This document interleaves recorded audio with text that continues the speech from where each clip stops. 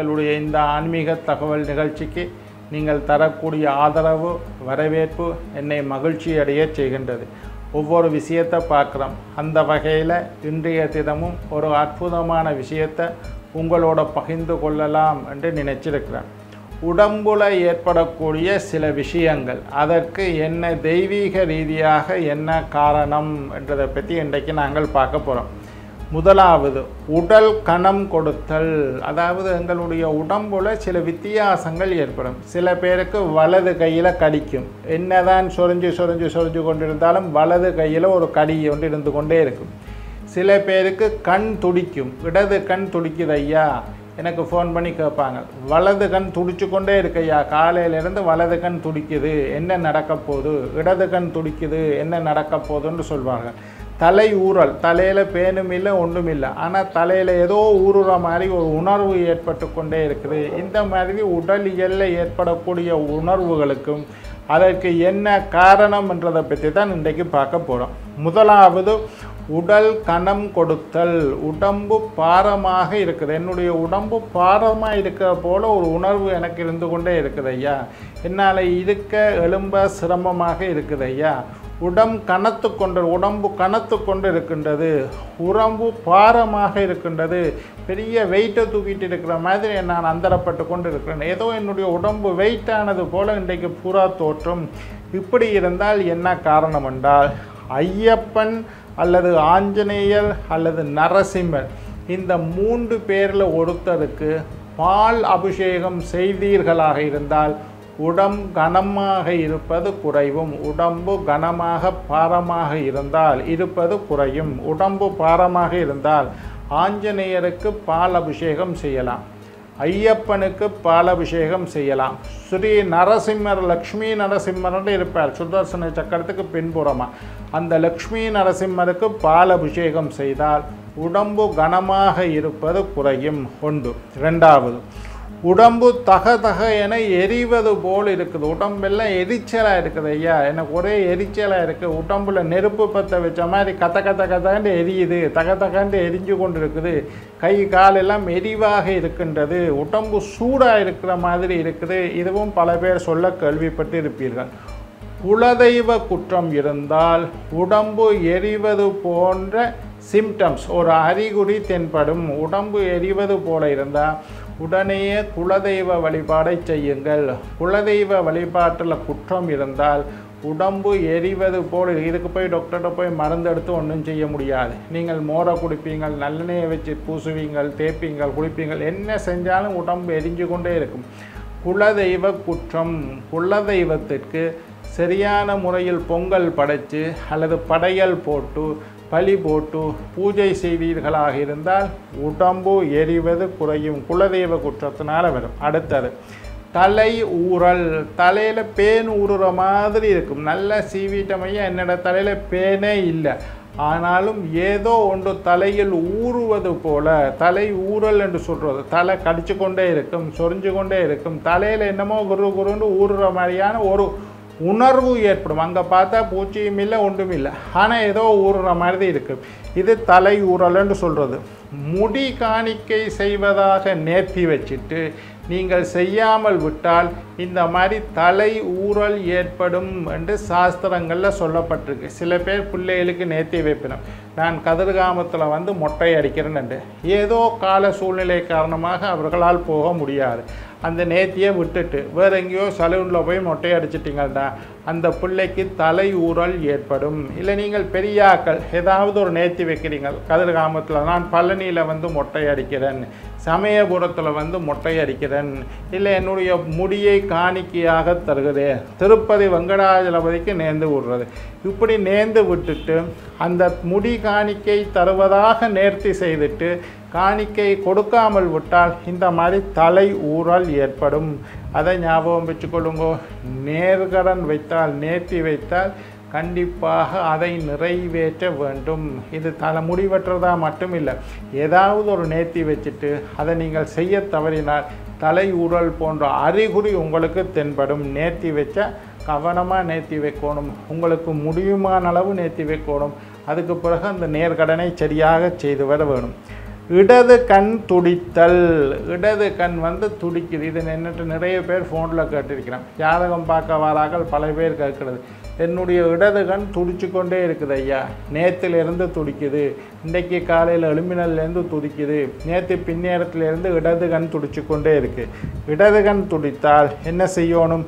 பிரதோஷத்தண்டைக்கு பால் அபிஷேகம் பண்ணி நெய் தீபம் சிவனுக்கு ஏற்றி வந்தால் இடது கண் துடிப்பது இல்லாமல் போய் இடது கண் துடிக்கிறது என்னத்துக்கு அறிகுறி என்றால் சிவபெருமானுக்கு பால் அபிஷேகம் செய்ய வேண்டும் பிரதோஷ தினத்தன்று. யாருக்காவது இடது கண் துடிச்சதாக இருந்தால் அந்த துடித்த தினத்திற்கு அடுத்ததாக வரக்கூடிய பிரதோஷ தினத்தன்று சிவபெருமானுக்கு பால் அபிஷேகம் செய்து வந்தால் இடது கண் துடிக்கிறது நல்லது. தீபம் நெய் தீபம் ஏற்ற வேண்டும். சரி அடுத்தது. வலது கண் எனக்கு இடது கண் இல்லையா? வலது கண் அடிக்கடி துடிச்சு கொண்டே இருக்குது. இருந்திருந்தா போல வலது கண் துடிக்குதுண்டா.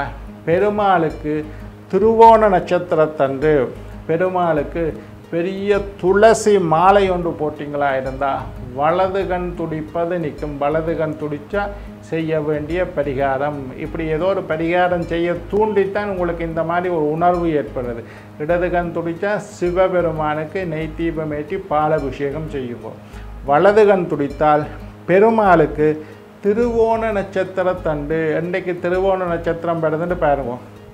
திருவோண நட்சத்திரம் வர அன்றைக்கு பெருமாளுக்கு துளசி மாலை சாத்தி முடிஞ்ச ஒம்பது திருவோண நட்சத்திரத்தன்று துளசி மாலையை சாற்றி வழிபாடு செய்தால் வலது கண் துடிக்கிறதுனால் நின்றுடும் அல்லது அதனுடைய அறிகுறியை தான் உள்ளங்கை உரல் கையில் கடிக்கிற மாதிரி இருக்கும். கையில் ஏதோ ஊறுற மாதிரி இருக்கும். எவ்வளவு சொரிஞ்சாலும் அது நிற்காது.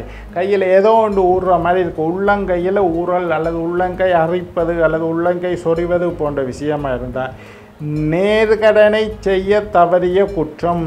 ஏதாவது ஒரு நேர்த்தி வச்சுட்டு அதை நீங்கள் செய்யலையா இருந்தால் உங்களுக்கு கையில் ஊறல் ஏற்பட்டு கொண்டு இருக்கும் அதே நேரத்தில் உண்டியலில் போய் காசு எந்த கை ஊறுதோ அந்த கையால் உண்டியலில் கொண்டே காசை போடுங்கோ அபிஷேகம் செய்யுங்கோ அங்க பிரதட்சணம் அங்க பிரதட்சணம்னா அப்படி படுத்திருந்து உருண்டு வாடுது கோயிலை.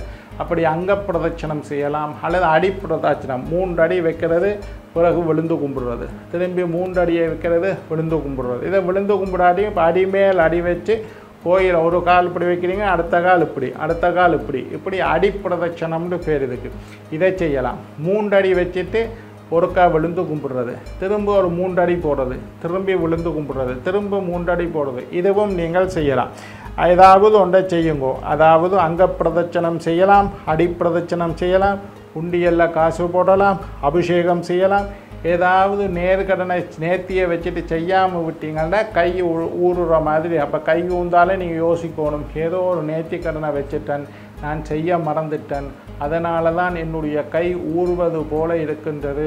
அந்த நேர்த்தி கடனை வையுமா? அடுத்தது மிகவும் வியர்த்தல் டக்குண்டு குப்பண்டு வேர்க்கிற மாதிரி இருக்கும் எப்போ பார்த்தாலும் எனக்கு வேர்வை ஐயா நான் சட்டை போட்டால் சட்டையெல்லாம் நனைகிற அளவுக்கு எனக்கு வேர்வை. சில பேரை நாங்கள் பார்ப்போம். அதிகமாக வியர்வை வரக்கூடியவர்கள் அதிகமாக வேர்க்க திடீர்னு எனக்கு இந்த மாதிரி வெப்பம் இருக்கு ஐயா. உடம்பெல்லாம் வெக்கையாக இருக்குது.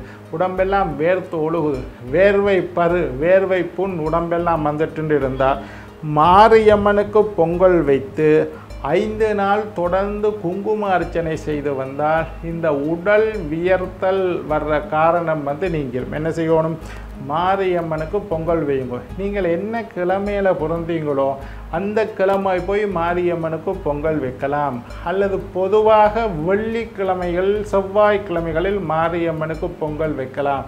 மாரியம்மனுக்கு பொங்கல் வைத்து ஐந்து நாள் தொடர்ந்து குங்கும அர்ச்சனை செய்து நெய் தீபம் ஏற்றி வழிபாடு செய்து வந்தால் உடல் வியர்த்தல் குறைவு. மாரியம்மன் தான் இந்த அம்மன் நோய் வந்தால் நாங்கள் மாரியம்மன் தாலாட்டு மாரியம்மன் தாலாட்டுன்னு ஒரு அற்புதமான விஷயம் இருக்குது. அதை படிச்சிங்களா இருந்தால் எவ்வளவோ பெரிய பலன். மாரியம்மன் தாலாட்டுன்றது மந்திர சக்தி வாய்ந்தது. எவ்வளவோ பலன் தரக்கூடியது. மாரியம்மனுக்கு தாலாட்டை படிக்க படிக்க படிக்க உங்களுடைய வாழ்க்கையில் முன்னேற்றம் ஏற்படும். எல்லாரும் வீட்டில் ஒரு மாரியம்மன் படம் வச்சிருக்கணும். மாரியம்மன் வழிபாடு என்பது ரொம்ப விசேஷம். பல பேருக்கு மாரியம்மன் தான் குலதெய்வமாக இருக்குது மாரியம்மன் குலதெய்வமாக வைத்து வழிபடக்கூடியவர்கள் எல்லாம் எங்கெங்கேயோ போயிட்டார்கள். முத்துமாரியம்மன் கருமாரியம்மன் என்று வேறு வேறு ரூபத்தில் இருந்தாலும் மாறி சமயபுரத்து மாரியம்மன் படத்தை தாராளமாக நீங்கள் வீட்டில் வச்சுருக்கொள்ளலாம். எது செய்தாலும் சமய சமயபுரத்து மாரியம்மன்கிட்ட உத்தரவு வாங்கி அந்த காரியங்களை நீங்கள் செய்து வரலாம். சமயபுரத்து மாரியம்மன் கலியுக தெய்வம். உடனே விரைந்து வந்து செயல்படக்கூடிய ஒரு அற்புதமான வழிபாடு சக்தி வழிபாட்டில் முதன்மையானது முத்துமாரியம்மன் வழிபாடு சமயபுரத்து மாரியம்மன் வழிபாடு சமயபுரத்து மாரியம்மன் படத்தை வீட்டில் வச்சு மாரியம்மன் தாலாட்டு. நான் அதை பற்றி தனியாக ஒரு எபிசோட் பேசுகிறேன் மாரியம்மன் தாலாட்டுன்னு இருக்குது பொதுவாக நாங்கள் அம்மை வருத்தம் வந்தால் அம்மை நோய் வந்தால் இந்த மாரியம்மன் தாலாட்டை நாங்கள் படிக்கிறது எப்போவும் அது ஒரு வளமையாக இருக்குது. ஆனாலும் உடல் வியர்த்தல் இதுக்காகவும் மாரியம்மனை வழிபாடு செய்யலாம். இன்றைய தினம் உடம்பில் ஏற்படக்கூடிய சில வித்தியாசமான உணர்ச்சிகளுக்கு நாங்கள் என்ன செய்ய வேண்டும்? என்றதை பற்றி பார்த்தோம். நாளை மற்றும் ஒரு நிகழ்ச்சியில் மற்றும் ஒரு விஷயத்தை பார்க்கும் வரை உங்களிடமிருந்து விடைபெறுவது உங்கள் ஜோதிட சித்தர் டாக்டர் ராஜராஜ குருக்கள்.